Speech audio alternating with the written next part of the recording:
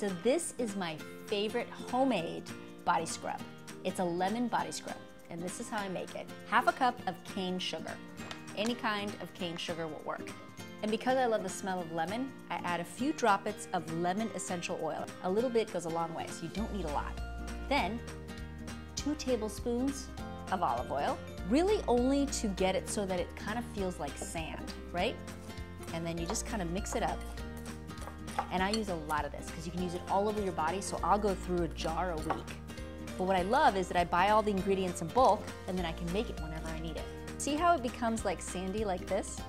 And then I take a little bit and you can do it all over. You can do a damp cloth, you just wipe off all the sugar. Imagine being in the shower and smell like lemon too, citrusy and summery.